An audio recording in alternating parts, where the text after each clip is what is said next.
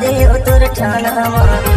देव को सेवा जहाना खेल दे जाया